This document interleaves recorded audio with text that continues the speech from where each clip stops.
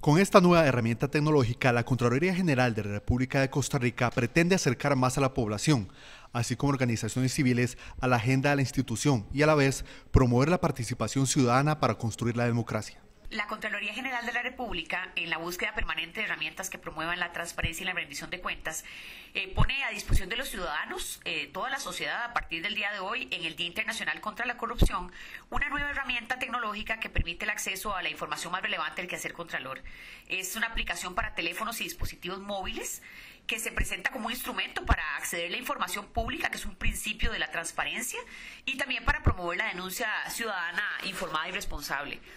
Se trata de una herramienta de fácil acceso y sin costo a través del medio masivo por excelencia de comunicación y de información y con ello queremos promover el principio de participación ciudadana. La aplicación gratuita está disponible para dispositivos móviles y tablets con sistema operativo Android e iOS de Apple.